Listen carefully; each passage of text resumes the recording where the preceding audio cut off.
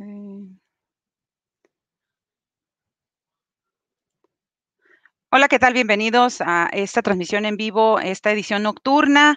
Ya es tarde, estamos, eh, bueno, siete de la tarde y bueno, estamos eh, presentes en esta transmisión especial de Foro Social Tucson, eh, una vez más para, bueno, informar a nuestra comunidad y bueno, en esta ocasión con un foro especial con nuestros panelistas para ver esto que está ocurriendo hasta el último momento, estas noticias, bueno, que en los medios de comunicación, esta situación de las protestas, bueno, se han mantenido bastante, bastantes activos el día de hoy, muchas cosas cosas sucedieron y vamos a tener expertas eh, en esto del activismo, de ser líderes activistas en nuestra comunidad.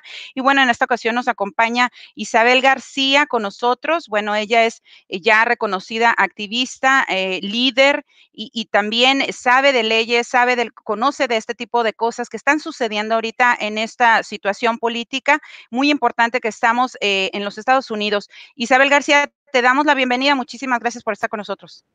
Gracias, Nayeli, por uh, esta invitación y por dar información muy importante.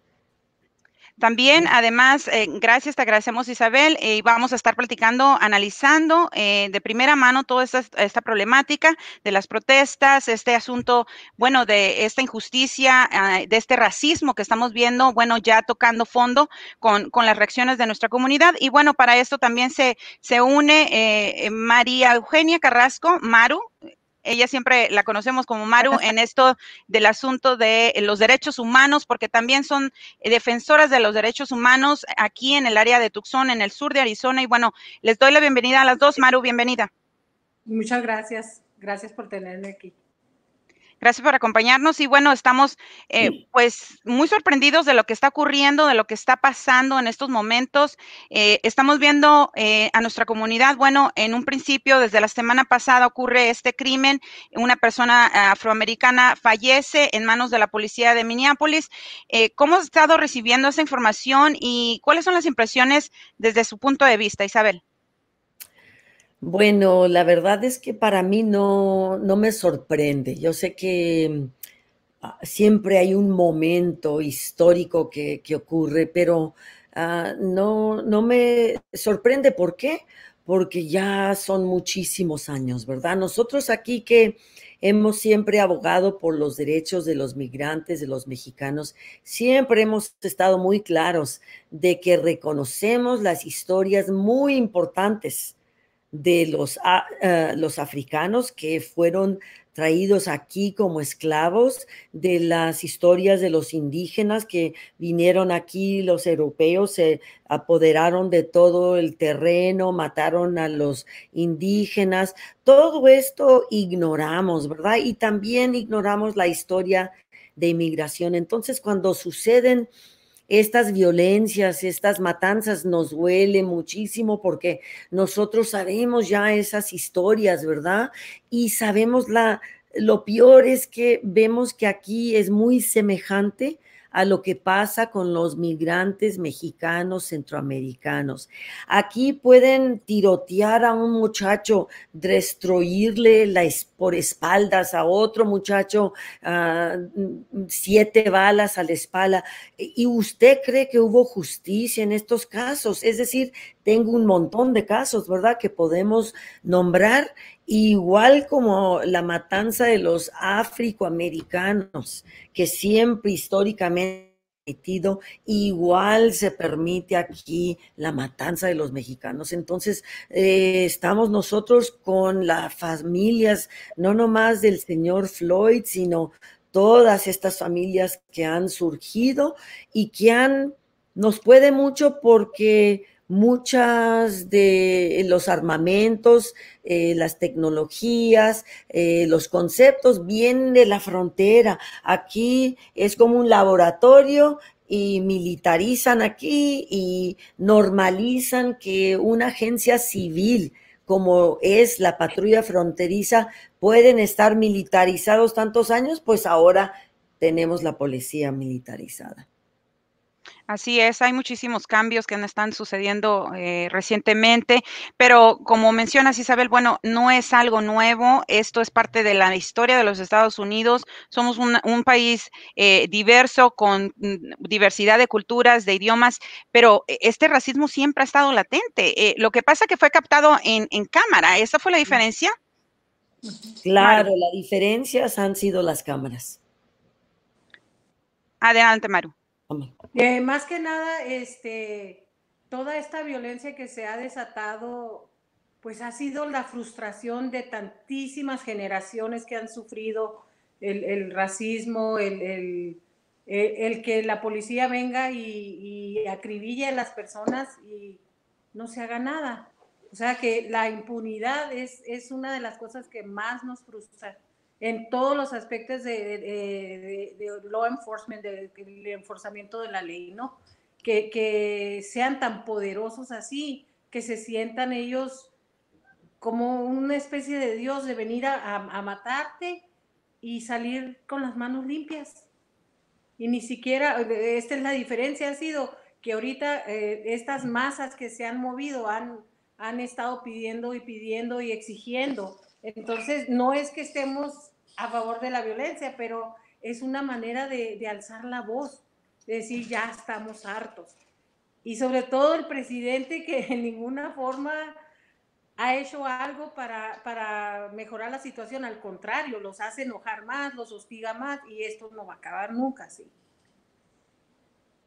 Esa es otra parte importante del, del debate de hoy, bueno, de poner en, la mesa estas perspectivas de, falta de liderazgo a nivel federal, de, salir a mencionar algunas palabras de compasión. Lo hemos visto con otros eh, tipos de, situaciones, circunstancias durante su mandato. Bueno, es de alguna manera, estamos viendo que que sigue, eh, bueno, inhumanamente de alguna forma, eh, no reflejando esa, esa, falta de liderazgo, donde, bueno, nuestra gente está necesitando palabras de, compasión, palabras eh, que conecten uno a otra las comunidades más que de división. Así es, así es. Yo creo que Estamos en un ah, momento histórico donde realmente se puede hacer cambio. Eh, escuché a un líder afroamericano, dijo, no, no, no hablen de healing, de sanar. No queremos seguir igual. No queremos sanar a, regresar a lo que ya estaba. Entonces hay una necesidad muy grande de transformación, ¿verdad? De, de y yo siempre he dicho que a nuestros niños se les tiene que empezar desde el principio de la escuela enseñar estas historias. Si no enseñamos cómo empezó este país, y empezó con supremacía de los blancos, ¿verdad? White supremacy. Y el único modo que podemos quitarnos de esa enfermedad es de hablar, de exponerla. Y nuestros niños, miren, ellos sí saben de la genocidia de los, de los judíos. Todo mundo aprende eso en la historia, pero aquí no se aprende de la genocidia de los millones de indígenas en este país, no se enseña la historia de la esclavitud y especialmente después de la esclavitud, los sistemas que seguimos para seguir encarcelando a, la gente afroamericana. Eh, ya vieron los, los incidentes de esa mujer que siempre pasa, una mujer blanca que dice, ay, le voy a llamar a la policía. Esos incidentes muestran que no es miedo. Los africanos no causan miedo. Es que la mujer blanca sabe que ella tiene poder el poder de eh, humillarte, de aún matarte, porque si llegara la policía, tal vez lo matan a ese pobre señor. Una tristeza. Así es, es una tristeza que hayamos visto esto a nivel nacional y que ahora somos nota internacional con este, con este detalle de esta imprudencia y bueno, ahora este crimen oficialmente porque el día de hoy, bueno, ya se deliberó la información de la autopsia, fue efectivamente por una asfixia por, causada por esta opresión de este oficial y hasta que, bueno, eh, terminó en deceso, en este fallecimiento. Y bueno, eh, es considerado un homicidio oficialmente. Vamos a hablar del lado legal también. Maru, algo que querías aportar a la idea. Pues más que nada es, es este el que la gente ya está harta, sobre todo la, gente de color. ellos han sufrido por generaciones. ya vemos con Martin Luther King, por ejemplo, ayer me estaba alguien en el Facebook diciendo que, que porque yo estaba eh, pues de acuerdo de que están haciendo estos, estos riots y todo este tipo de, pues mira, le digo, la cosa es que si lo hemos hecho nosotros de, de nosotros somos pacifistas en derechos humanos y hemos hecho protestas pacíficas y nos han tratado como la peor basura, como terroristas. Así mm. nos han tratado. Entonces, mm. eh, la misma policía hostiga la violencia. Ellos son los que están constantemente hostigando. No sé si vieron en uno de los, de los, este, se estuvo poniendo fotos que pusieron pallet, de esas pallets, paletas llenas de ladrillos en las calles de Minnesota, en diferentes partes, para que la gente quebrara ventanas. ¿Quién hizo eso? Mm. O sea, te pone a pensar, ¿quién está hostigando más violencia? Es seguro que fue el gobierno, la policía. O sea, cosas para que la gente se pusiera más violenta en lugar de calmar, en lugar de, tratar de mitigar esto, ¿no? El coraje, porque te, tienen toda la razón de estar en las calles, tienen toda la razón de gritar por justicia. Lo que pasa que también eh, hay grupos que se infiltran y que son los que vienen a hacer la violencia, inclusive personas blancas que están haciendo esa violencia, están robando y están haciendo, pero como traen la máscara por el coronavirus, no se les ve el color de la piel, traen guantes y entonces dicen, no, pues son los morenos. Entonces es ah. más de lo mismo. Así es, Maru. Eh, esa, esa parte es muy importante eh, mencionarles y clarificar a nuestra, a nuestra audiencia que nos está se está conectando ahorita con nosotros, que hay que comentarles que es, por un lado, eh, está el sentir de la familia, de injusticia, todo lo que tiene que ver con derechos humanos, defender esto que sucedió, que es oficialmente una injusticia matar a una persona solo por alguna falta eh, mínima y que, bueno, es un abuso de poder de parte de las autoridades de, la policía de Minneapolis por el oficial directamente que le robó la vida a esa persona afroamericana. Mas, sin embargo, bueno, también, eh, también ya el gobernador eh, de Minnesota dijo y anunció físicamente, públicamente en estos días anteriores que sí existía otro tipo de grupos que estaban encauzando la violencia. Entonces, si tenemos aquí la versión de Maru, eh, ha sido líder en derechos humanos también en este tipo de estas manifestaciones. ¿Cómo trabajan? Platícalos a, la comunidad que no sabe cómo operan eh, este tipo de manifestaciones. ¿No van encausadas a la violencia? Desde tu particular opinión, eh, siempre se infiltran este tipo de grupos. Sí. Sí, y curiosamente mm, empezamos a ver caras que no vemos, que no conocemos entre los activistas. Entonces empiezan a ellos, por ejemplo, no sé si se acuerden, hace algunos años cuando fuimos a hacer una, una muy grande, fue, fueron más de 5 mil personas en una protesta contra el rollo Yo Arpaio. No sé si se acuerdan cuando nos echaron los caballos encima y nos echaron gases lacrimógenos. O sea, ellos empezaron, nos empezaron a echar los caballos encima estaban miles y miles de personas, había niños, había mujeres embarazadas, había de todo, jóvenes. En ningún momento nosotros fuimos groseros o, quisimos hacer algo violento y sin embargo nos echaban los caballos encima, o sea, podían haber matado a una persona, empezaron a regar los gases, fue una cosa espantosa que nunca había vivido yo esto. Entonces ahí te das cuenta que la policía ya trae esa predisposición a, hostigar. Cuando tú vas con, un pensamiento, por ejemplo, nosotros somos pacifistas, como César Chávez y ese tipo de, que llevamos, entonces ellos empiezan con, a, violentar a la gente. Entonces, eh, allí es donde ves tú la diferencia. Y quiero recordarles eh, que en 2006 cuando tuvimos las marchas históricas. Ah, desafortunadamente, aquí en Tucson, Arizona, la policía de Tucson eh, nos atacó terriblemente. Es decir, em, ha habido también aquí eh, eh, abuso, ¿verdad? También cuando estuvimos luchando por uh, estudios étnicos, uh, Mexican American Studies, la policía nos atacó muy brutalmente también, um, en modos que, muy racistas, porque a unos hicieron, dijeron cosas racistas en la marcha y en la otra cosa también, en vez de ejercer su, su trabajo sin tener opiniones políticas en contra de nuestras comunidades, ¿verdad? Entonces, eh, uno también puede ver los casos, pues, de la brutalidad de la patrulla fronteriza. Este pobre señor Anastasio Rojas Hernández, ¿se acuerda que lo hicieron tase hasta que se murió? Grabaron todo, igual como de arriba. Grabaron todo y aún no le hicieron cargos para nada. A este pobre muchacho que también lo, lo mataron y lo exoneraron aquí, no culpable, igual como a los a la gente que ha linchado a los negros. Ahí está el ejemplo de, bueno, de las perspectivas en cuanto a que esta situación, bueno, es eh, muy común para, para los líderes como ustedes, que son activistas, que luchan por los derechos humanos y, bueno, que también representan a nuestra comunidad.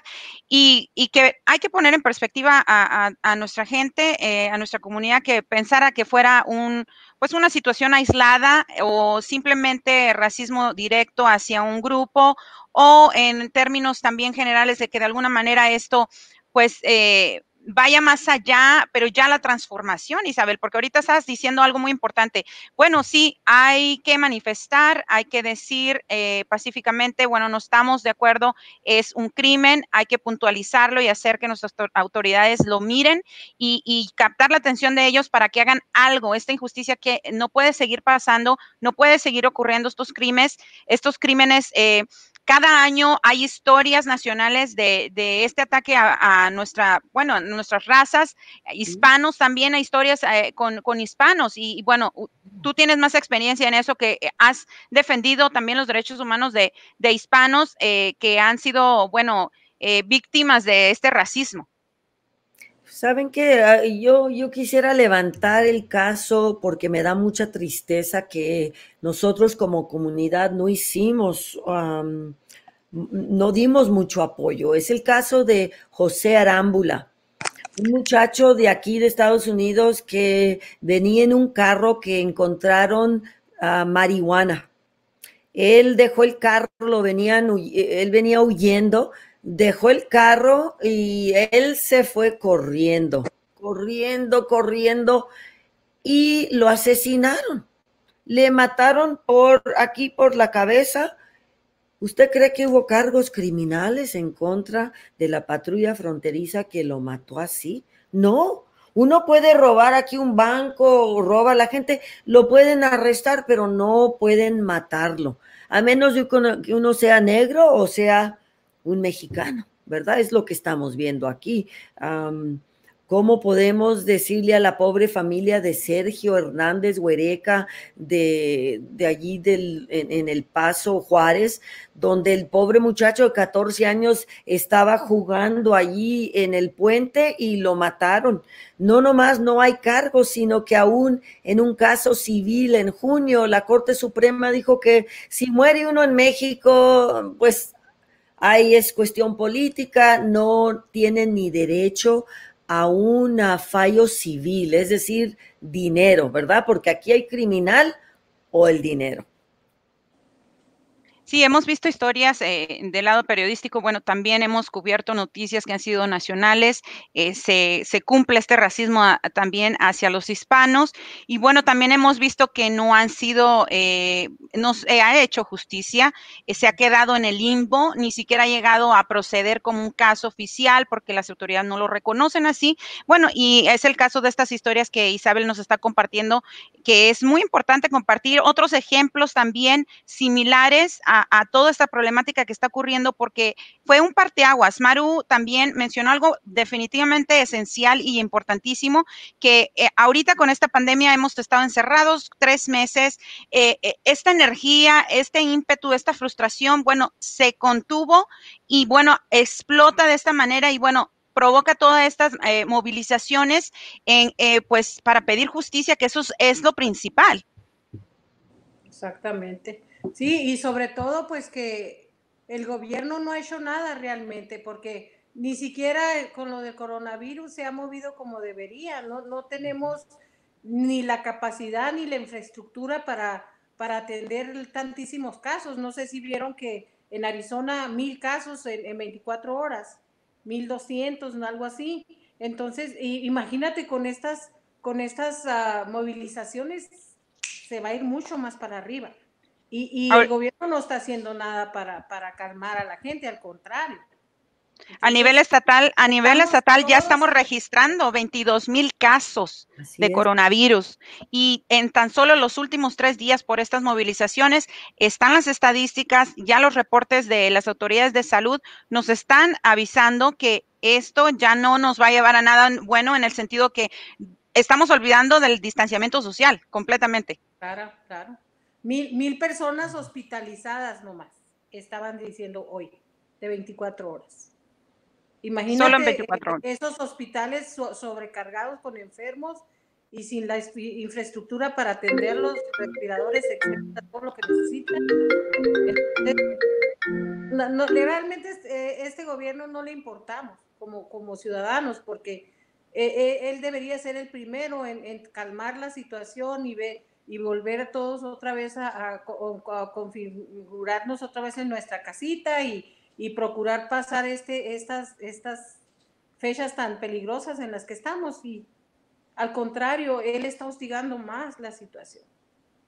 Ahora, Exactamente, Maru. Eh, estamos con eh, en la perspectiva que nos estás compartiendo. Bueno, viene a redundar en, en esto que es muy importante, eh, la falta de liderazgo de las autoridades federales que estamos viendo continuamente. Es algo histórico que no mm, veamos em, que se tomen acciones inmediatas, eh, que no se trate de comunicar directamente con la comunidad, con nuestra ciudadanía. Y bueno, esa es la parte que tú estás haciendo énfasis de falta de liderazgo de, de los líderes que tienen el poder de poder hacer algo y que no lo hacen. No lo hacen. Al contrario, están hostigando más a que la gente siga saliendo cada día. No importa los toques de guerra, queda, no importa lo que están haciendo. Estamos en una guerra realmente. Y, si no nos mata el virus del coronavirus, nos va a matar el virus del racismo, desgraciadamente, porque esto, eso parece.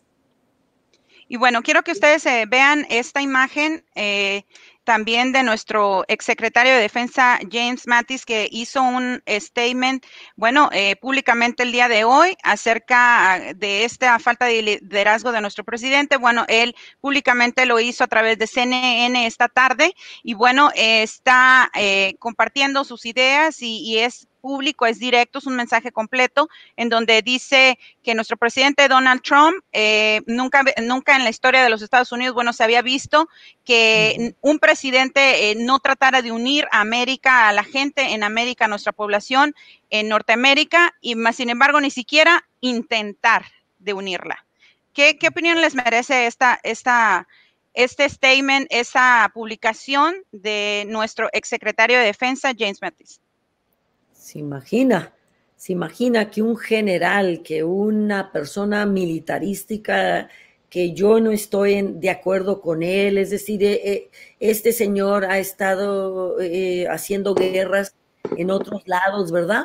Pero de que él dé esta amenaza, este, este, no, que nos esté diciendo que este señor es una amenaza a la sociedad interna. Eso nos dice muchísimo. Él está viendo ah, qué lenguaje están utilizando, uh, qué están movilizando. Él se está dando cuenta y él ve que estas medidas son militarísticas. imagina?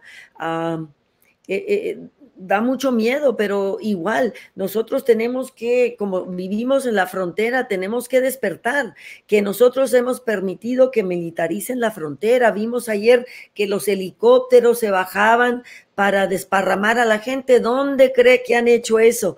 laboratorio es el desierto. Eso hacen con los migrantes. Los desapare los separan y hay muchos pues que mueren después de eso. Entonces, todo esto se ha vuelto militarístico y nosotros tenemos que poner un alto a la militarización de frontera, de policía, de sociedad. Maru, ¿algo más que quieras agregar antes de irnos a la siguiente imagen? Sí, pues, pues más que nada, eh, este, una de las cosas que siempre me ha preocupado a mí es la tecnología que tiene la, policía, ¿no? Toda la tecnología de la guerra que, ya los, los, ah, las, ah, la, todo lo que son los agentes de policía tienen, las armas que usan para la guerra, las van a usar en nosotros, eso es lógico. ¿Para qué lo quieren? ¿Para qué quieren todo lo que, lo que les ha traído eh, eh, lo que son ah, lo que se usa en las guerras y se los traen para las, los agentes de policía de las ciudades. O sea, realmente es para, para la ciudadanía, pues nosotros los van a usar. Vamos a pasar a la siguiente imagen y para que ustedes miren, bueno, parte de esto, eh, de esta explicación que Maru nos dio desde la perspectiva de, derechos humanos, eh, de cómo se realizan estas manifestaciones regularmente, cómo suceden aquí en los Estados Unidos, bueno, eh, y de que se infiltran estos grupos para crear violencia, bueno, porque ya han sido testigos, ustedes son las expertas, bueno, aquí vamos a esta imagen. Esta imagen, ¿qué les refleja? ¿Qué es lo que, qué es lo que pueden comentar acerca de esta imagen?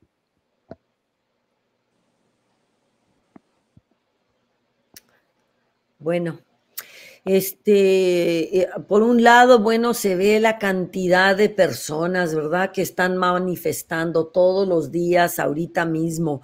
Es decir, hemos despertado.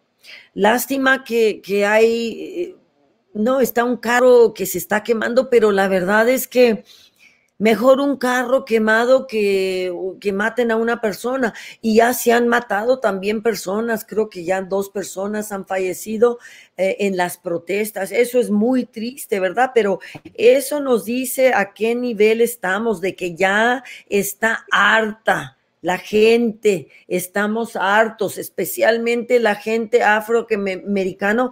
¿Cuánto tiempo van a esperar para que haya justicia? Eso es los que estamos viendo. Es decir, se ve todo, ¿verdad? Porque Martin Luther King dijo que, que el luring y la violencia es el lenguaje de los que no son escuchados, ¿verdad? Parte de eso también es eso, pero como dice Maru, también hay gente que está infiltrando. Entonces, eh, existe todo cuando no se exige la justicia. En vez de ya ser llamado, para más ah, armamento, policía. Este presidente debería estar haciendo un llamado de que todas las agencias policíacas deberían de hacer una revisión, un alto a sus políticas, que sigan las ah, sugerencias de muchos de estos que están saliendo con ocho principios, de que tengan, por ejemplo, que nunca, jamás se utilice el, el neck hold, por ejemplo, de eso. Entonces, eso es lo que yo veo en esta imagen. Maru, ¿qué pudieras agregar? Eh, tú estabas explicando algo muy importante con estos grupos infiltrados. ¿Qué es lo que puedes decir acerca de, de pues esta violencia eh, que se mira en esta foto? Por ejemplo, cuando un policía ya tiene un historial, vamos a ver que este señor ya tenía nueve quejas de racismo y de abuso policíaco. Entonces, ¿cuántas vamos a tener que esperar o vamos a tener que esperar que mate a gente para que se haga algo y se le pongan cargos. O sea, eh, ¿por qué? Ah, eh, eh, cuando un, hombre entra a la, escuela de policía, deben de tener ah, suficiente enseñanza para ellos para tratar de calmar las cosas lo menos violento posible. O sea, eso, porque luego, luego sacan la pistola, y luego, luego a darle, inclusive por la espalda, o sea, esa violencia que tienen contra nosotros, esa prepotencia, simplemente con que te pare un policía, la prepotencia con que te habla. Y yo te aseguro que si hubiera sido yo una persona de ojos azules y güera, no me hubiera tratado a mí como la vez esa que, que me chocaron a mí y el muchacho me trató, parecía que yo era la criminal en ese momento. O sea, eh, la manera que lo tratan a uno como ciudadano, ya ya, imagínate nosotros y, las personas afroamericanas están peor que nosotros. Los ven más para abajo. Entonces, eh, desde el momento del protocolo de, para entrar a una escuela, el que, el que este, se les dé esa educación, como dice Isabel, y cuando ya una persona ya tiene esos, esos fallos inmediatamente sacarla, porque eso estaban hablando, dice, ¿de qué sirve que le pongan, si, si este señor lo corrieron, pero él puede ir a otro, a otro, a otra agencia de policía y volver a aplicar como policía. Entonces, de ahí es la situación.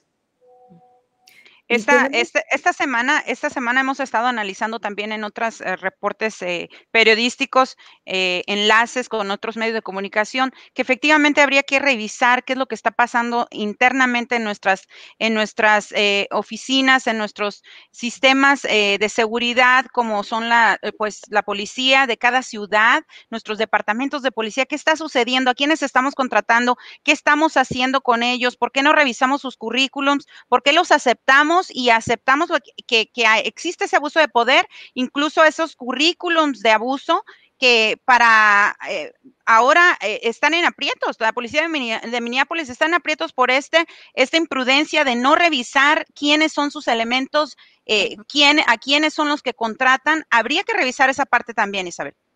Sí, pero es más que eso. Eh, por ejemplo, Minneapolis es una de las ciudades más segregadas en todo el país. Muy intencionalmente se designaron áreas donde iban a poner a los negros, así de abiertamente, redlining. Es decir, entonces los policías no nomás es ocupar unos cuantos negros, porque una, un señor africano que fue policía dice, yo entré como un hombre africano con muchos principios, pero la cultura policíaca, si no cambia, esa te hace, te traga. Tú eh, eh, eh, eres parte de esa cultura, ellos no te aceptan aceptan tu cultura negra o mexicana. Es decir, entonces tenemos que hacer cambios muy profundos a la, el racismo estructural que existe en este país, de cómo se da salud, cómo se hace educación, de dónde vive quién, es decir, y aún eh, no nomás quiénes son los policías, pero cómo queremos nosotros tener seguridad los, la comunidad afroamericana, yo te digo, eh, yo puedo decir sin ser afroamericana, que no tienen ah, nada de confianza en las agencias policíacas como existen. Entonces tenemos que hacer, eh, seguir el llamado de ellos, los líderes de hoy, que están diciendo, defund the police y mejor dar seguridad de otra forma porque tenemos que transformarnos algún momento. Así es, bueno, estamos hablando para los que se están conectando en este momento, bueno, estamos eh, en este debate de perspectivas con respecto a todo lo que está ocurriendo eh, a nivel nacional en estas protestas, después de haber, bueno, visto las escenas de mm, bastante violencia, encauzamiento a violencia, a, a, destrozos, a destrucción en nuestros centros de nuestras ciudades principales en los Estados Unidos, y bueno, también analizando la situación de injusticia que existe y de racismo eh, en contra, bueno, de nuestras, nuestras comunidades afroamericanas y nuestras comunidades hispanas, porque no es un caso nuevo, esto ya para los expertos en liderazgo, en activismo como Isabel García y Maru, bueno, que nos acompañan esta noche, bueno, es importante eh, enfatizar esa parte y decirle a la comunidad que esto no es nuevo, esto fue solo un parteaguas para hacer ya el principio de esta transformación que se ha necesitado desde hace mucho tiempo. Exactamente. Y otra de las cosas es que va más profundo lo que son los departamentos, ¿no? Por ejemplo, eh, yo me acuerdo de muchos casos que se pierde, se pierde la, la, todo lo que es la, lo que se guarda durante el crimen o lo que pasó, ¿no? Se pierden los files. Y ahí pasa en la Border Patrol y pasa en todas las agencias. O sea, que, el protocolo que se debe de usar al investigar dónde quedaron las cosas, quién fue el que movió esto, por qué no está. O sea, eh, hemos tenido violaciones y todo en la, en la patrulla fronteriza y cuando se mueven otra vez los papeles después de los años, ya no hay nada. Entonces dicen que estamos locos y que, que no, no, eso no pasó, que este, esta violación no pasó, que, o sea, cómo, cómo se va metiendo abajo de la alfombra la basura y, ya no existe.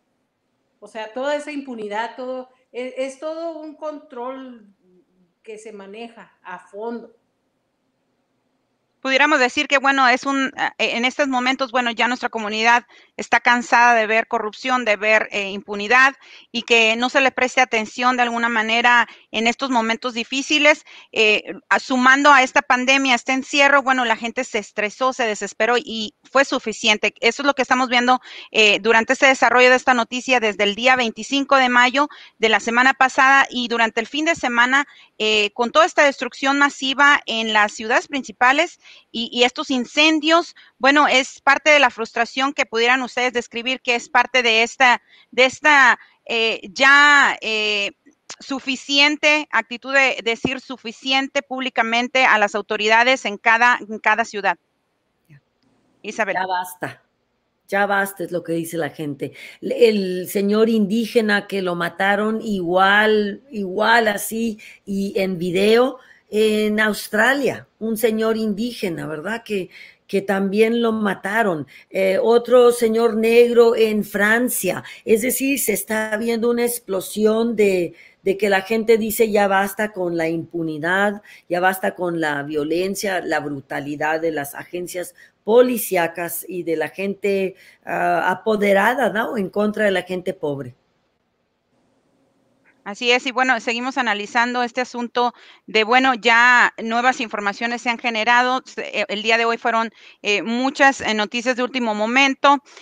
ya nuestras autoridades, también nuestro expresidente Barack Obama, bueno, también externó un mensaje muy especial, también de compasión, de entendimiento. También dice que, bueno, nuestro país está basado en protestas. Esto, bueno, sí nos distinguimos por saber expresar nuestros, nuestras injusticias que ocurren dentro de nuestro país, pero también que ya, ya era suficiente en este sentido porque ha sido algo histórico, es parte de lo que ha venido ocurriendo ya por bastantes años y que bueno, esto fue yo solamente un parteaguas para externarle a las autoridades que era injusto que esto pasara eh, en tiempos de pandemia, cuando estamos muy preocupados por nuestra salud, por este virus que no desconocemos, eh, que no tenemos cura, no hay una vacuna oficial, eh, el sistema de salud continúa en esa búsqueda, más sin embargo, bueno, vamos a tener que aprender a vivir. Mientras tanto, en algunas partes de los Estados Unidos ya se reactivaron ciertos servicios.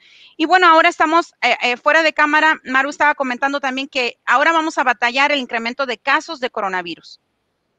Así es, exactamente, porque eh, ahorita ya, ya no, lo, lo más peligroso de todo esto es que la persona que lo, trae y lo, lo está eh, dispersando, muchas de ellas no tienen ningún síntoma. Entonces, y, otra cosa que estaban diciendo ahorita eh, los científicos, que la tapabocas realmente no nos sirve de mucho. Porque, por ejemplo, si alguien te estornuda, te puede caer en un ojo.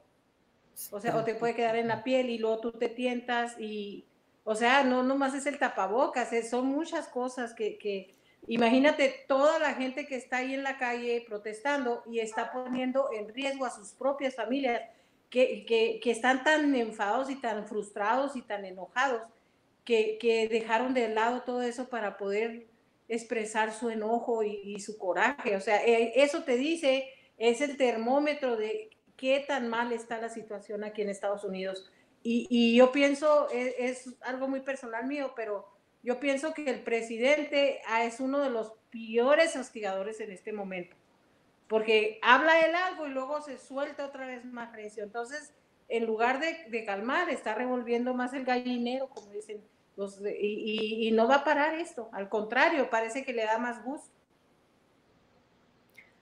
Y, lo malo es que la gente Ah, mucha de nuestra gente no tiene acceso a los servicios médicos. muchos no han podido recibir ninguna ayuda del gobierno que se nos da a nosotros. Es decir, estamos en una situación muy peligrosa porque eh, si aumenta el coronavirus, bueno, ¿a quién se va a afectar, verdad? Nuestras familias a veces viven en familias, ¿no? En un lugar chico Ah, y como digo, sin servicios, es decir, todo mundo debería de recibir servicios. Si tú estás enferma, yo puedo estar enferma. Si yo estoy enferma, tú puedes estar. Y entonces tenemos que aceptar que uno al otro dependemos de uno del otro. Así es, así es, Isabel. Y bueno, eh, retomando un poquito, entrando en el tema más profundamente con este análisis que estamos realizando, eh, compartiendo perspectivas. Bueno, eh, el día de hoy, parte de las últimas noticias de último momento, bueno, nuestro procurador ya general en Minnesota, bueno, también ya dio públicamente el anuncio que, bueno, se está juzgando y, bueno, se, se presentó cargos eh, directamente ya de segundo grado, porque inicialmente eh, a la persona, este oficial que fue arrestado inicialmente, bueno, estaba considerando que era tercer grado el crimen que había realizado, más sin embargo, se hace, esa, ese, se hace esta modificación pública y también ahora se arrestan a, los otros tres eh, em, eh, oficiales de la policía de Minneapolis y bueno, ya están arrestados. Y bueno, estamos esperando que ahora, bueno, por la vía legal, bueno, se haga justicia, se ponga en proceso. Y bueno, ¿qué significa para nuestra comunidad que no entiende qué es segundo grado en crimen, en felonías? Eh, eh, amplíanos un poquito más qué significa este cambio para, para ese tipo de, de crímenes. Sí, cómo no. Eh, primeramente, cada estado tiene distintas definiciones del homicidio, ¿verdad? Entonces tenemos que empezar que esto es en Minnesota.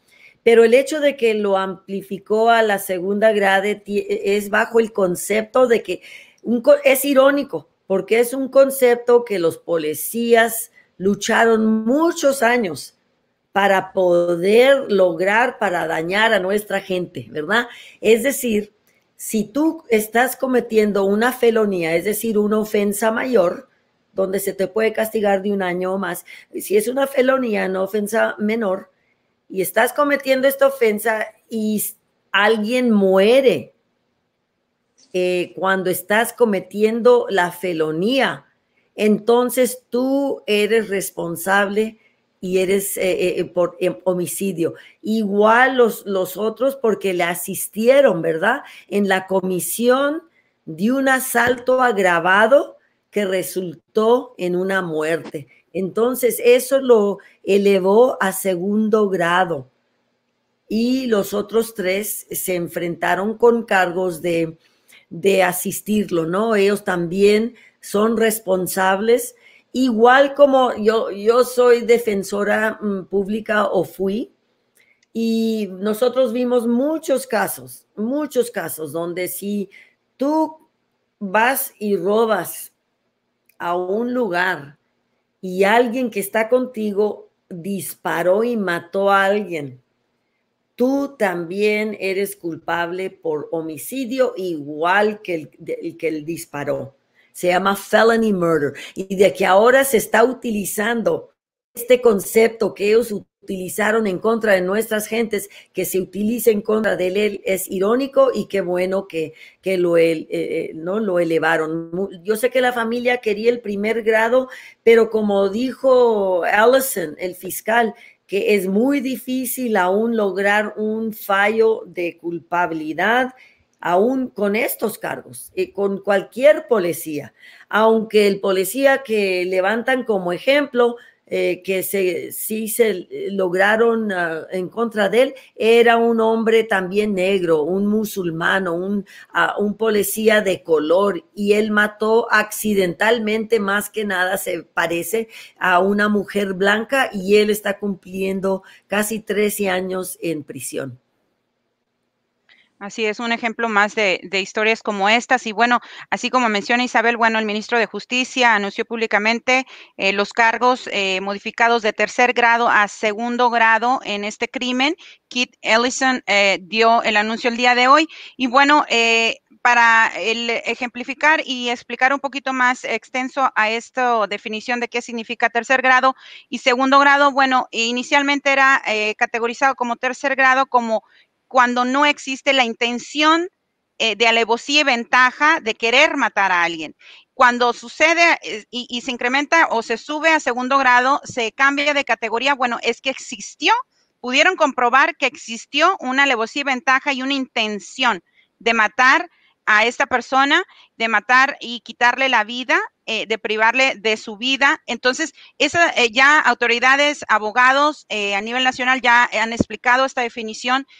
sí existió una, una alevosía y ventaja, una intención de matar. Entonces, esa es la, diferencia entre, bueno, era considerado de tercer grado porque, como menciona Isabel, bueno, es muy difícil llegar a esta investigación. Eh, no nada más es eh, contar o contemplar este video, analizarlo, es, es un proceso aquí en los Estados Unidos llevar a cabo todo este, este juicio y, bueno, eh, llegar al fondo de, con tan poco tiempo, porque ahorita nuestra comunidad está, bueno, exigiendo justicia lo más pronto posible, pero siempre los procesos en cortes, bueno, llevan tiempo, se han llevado años muchas veces y bueno, a final de cuentas dan, eh, deliberan de alguna manera resultados que que no hacen justicia a final de cuentas. Entonces, bueno, a, final de cuentas ahorita eh, sí estamos viendo eh, que nuestras autoridades, bueno, se están moviendo, están actuando con lo que tienen, con los elementos que pueden investigar y sí encontraron que fue homicidio con intención de matar y por eso se consideró y se subió al segundo grado. Entonces,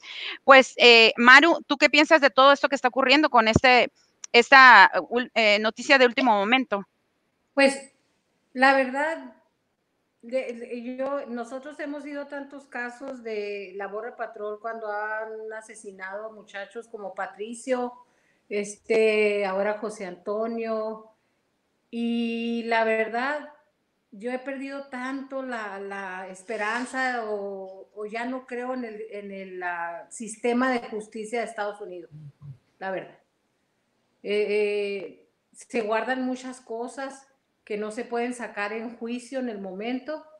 Y entonces cuando ya sale el fallo y, toman la decisión los, los, que lo tienen que tomar, entonces ya salen a bailar las, las verdaderas evidencias que muchas veces, ah, y sobre todo cuando son juicios contra policías, salen a, a, relucir.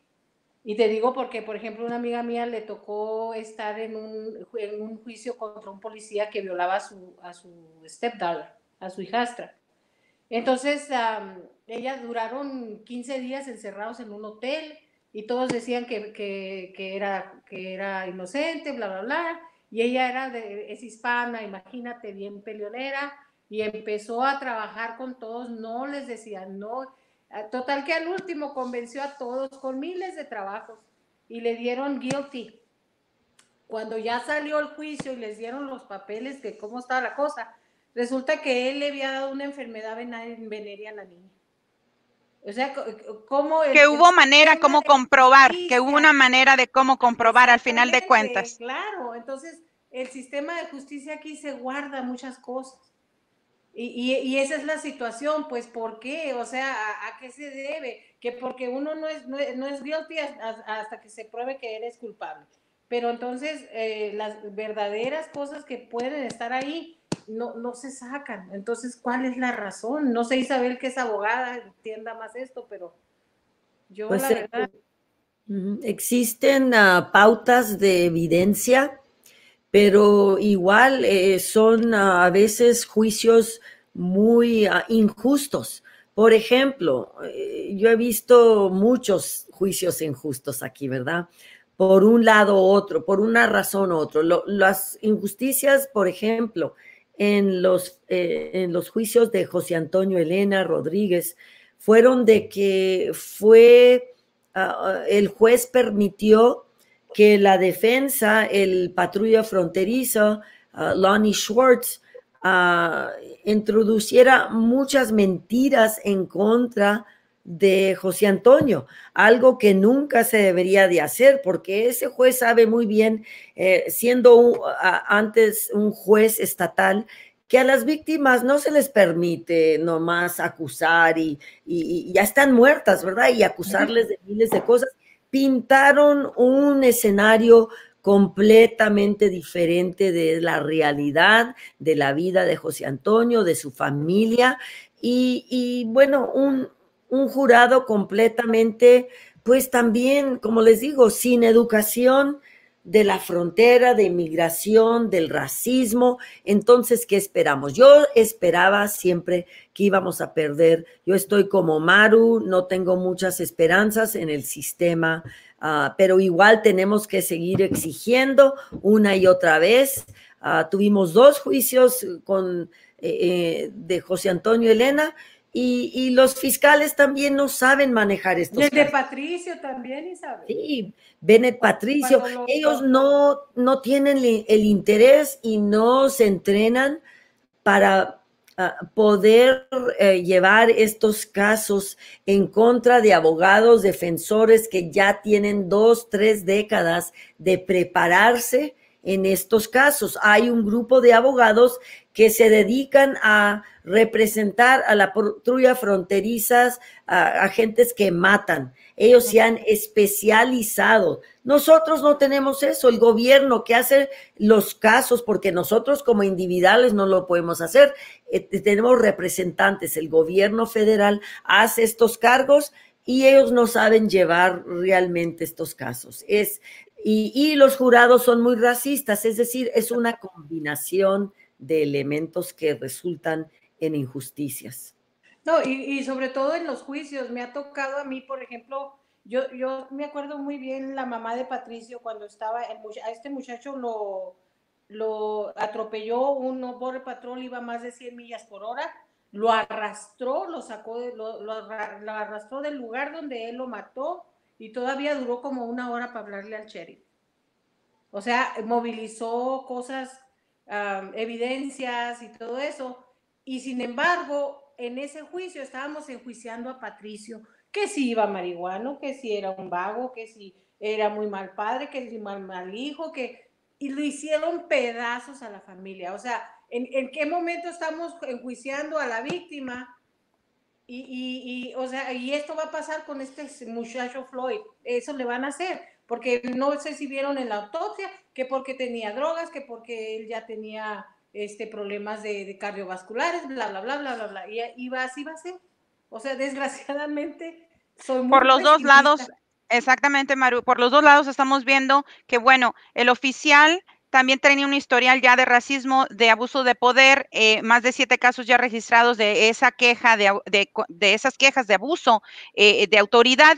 Y bueno, por el otro lado que sacan a flote una autopsia en donde dice que también eh, en el sistema de la persona de George Floyd se encontraba algún eh, eh, droga, eh, eh metafetamina, algo así le estaban comentando muy temprano, más sin embargo, bueno, no le dieron mucha énfasis, no estaban publicándolo mucho, más sin embargo, bueno, el hecho de que haya fallecido, el hecho de que se haya ido y que no esté más con nosotros, que no sea parte de la comunidad de su familia, de su familia, que bueno, dejó a dos hijos.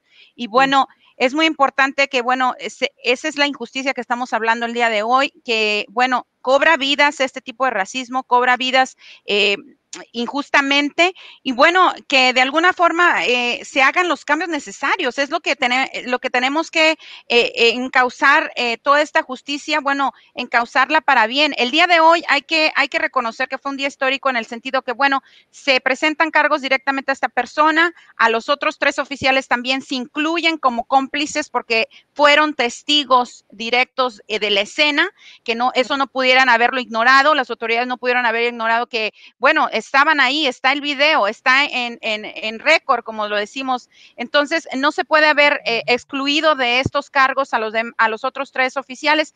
Más sin embargo, bueno, también histórico en el sentido que, bueno, nuestros manifestantes, como dice Maru, representaron el día de hoy eh, históricamente en Los Ángeles que pudieron hacer esto en orden y con civismo.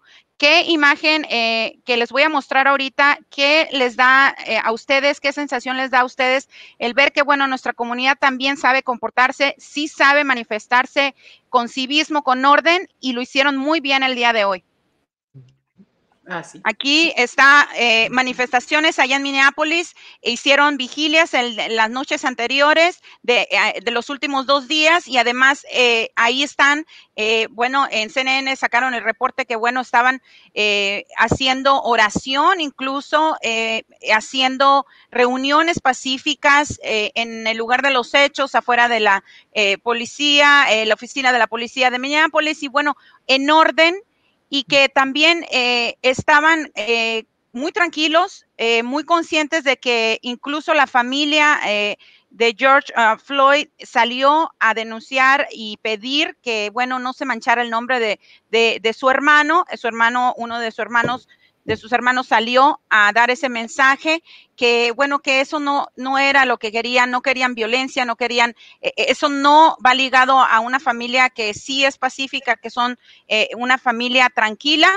Y bueno, eh, que solo se respetara la memoria de, de, de George Floyd y bueno, para eso también, bueno, esto yo de alguna manera eh, quise mostrárselo y compartírselo a la comunidad, que bueno, también nuestra comunidad sí sabe eh, retomar la calma, la ecuanimidad y bueno, saber hacer estas marchas y, de alguna manera que lo que vieron en los tres últimos días, la semana pasada que fue eh, eh exageradamente increíble verlo en las noticias, fuimos noticia internacional, hasta en Londres ya se están uniendo con estas manifestaciones, un poco eh, pues sí, levantándose en armas de alguna manera con violencia también, porque ya se extendió este racismo, también lo comprenden de alguna manera, de manera internacional, y bueno, se unen a esta causa de la Unión Americana. ¿Qué opinión les merece el que, bueno, mostramos de nuevo, se muestra que la comunidad sabe responder a los líderes que se levantaron a pedir que, bueno, mostremos esa ecuanimidad, seamos pacíficos y sigamos exigiendo justicia y fue una eh, manifestación masiva extendida por mucho, por todo el centro de Los Ángeles, en donde se vio realmente que la comunidad se unió para una causa en particular. Isabel. Bueno, yo creo que es un momento muy histórico. Yo creo que tal vez, aunque yo y Maro tenemos eh, muy pesimistas en lo que ha pasado aquí en la frontera, yo creo que hay un cambio. Eh, fue histórico los cargos, ¿por qué? Porque los fiscales... Uh, uh, o la, ellos pensaron inmediatamente, este es un homicidio. No, esto resultó por la gente, por la movilización de la gente y decir ya basta. Entonces, uh, yo siento que hay unas posibilidades muy grandes para hacer cambios más profundos. Uh, y yo creo que eso es lo que va a exigir la comunidad no se van a quedar simplemente con eh, los cargos en contra de los cuatro, que eso es algo que sí querían, pero como primer paso. Porque si sigue igual, ¿qué va a pasar con los que mataron a Brianna?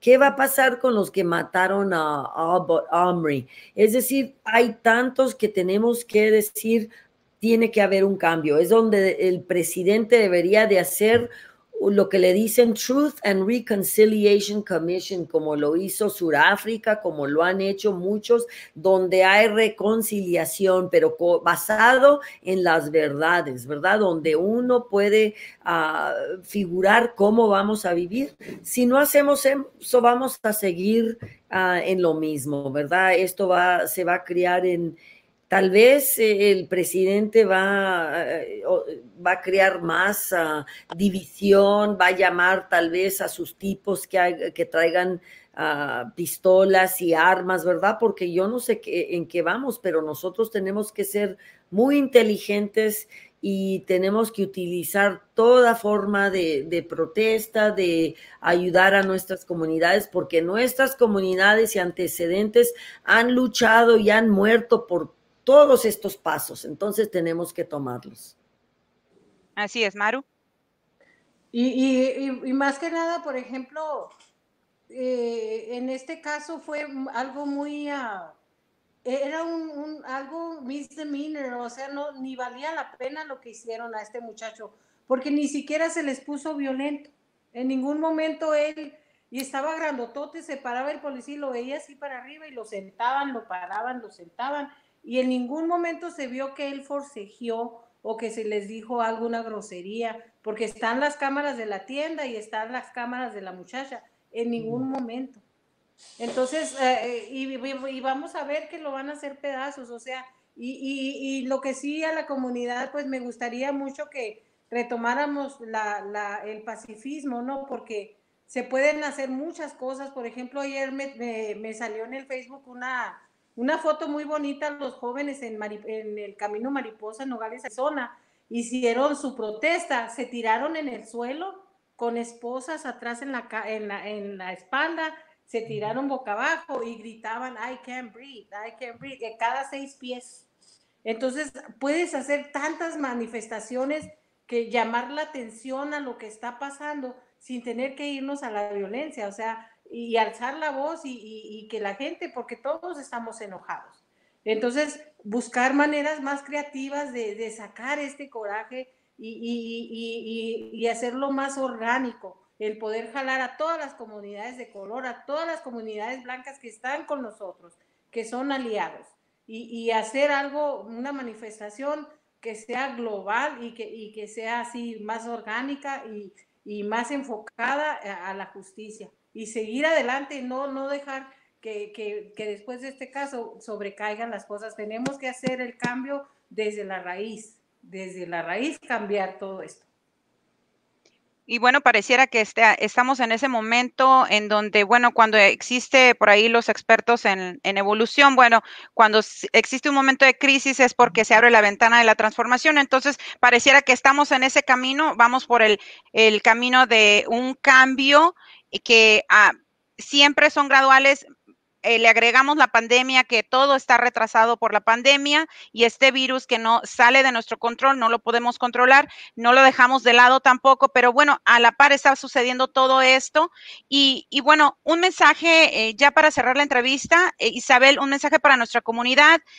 sabemos que necesitamos unir a todas nuestras comunidades. el objetivo de ustedes siempre ha sido eh, ser pacíficas, levantar la voz, como dice Maru, bueno, vamos a hacer, crear eh, nuevas eh, formas de, externar nuestro mensaje, de que sea pacífico y de que también las autoridades, bueno, vean y, llamar la atención de ellos para que se haga justicia uno a uno y se vaya cumpliendo esa transformación que necesita los Estados Unidos. Isabel. Gracias. Yo creo que ya lo has dicho todo. Lo que yo quiero finalizar aquí es que nuestra comunidad tiene que aceptar que tenemos ah, discriminación en contra de los negros. Esa discriminación también existe en nuestras comunidades y uno no es suficiente decir, ay, yo no soy racista.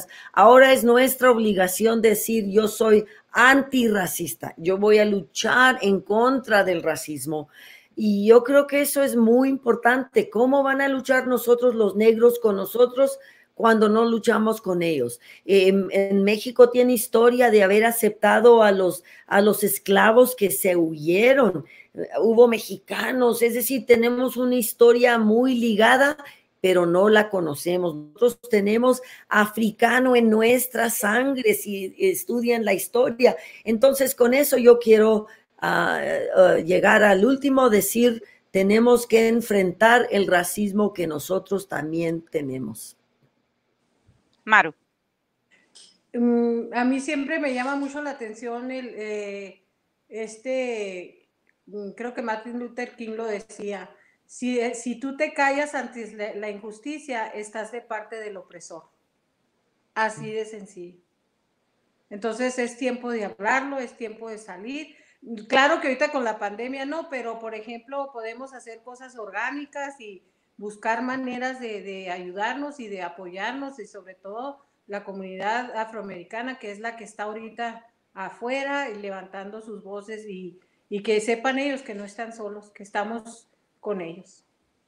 Con respecto a los jóvenes que fueron parte de estas eh, movilizaciones, sabemos que está el lado migratorio. Eh, ahorita estamos viendo que nuestra gente está participando en la conversación con nosotros ¿Qué recomendaciones les darían ustedes eh, si continúan estas eh, manifestaciones pacíficas? Bueno, para evitar que sean arrestados si son DACA, eso también es una problemática que tenemos aquí en la frontera, ya ubicándonos en, nuestra eh, situación geográfica.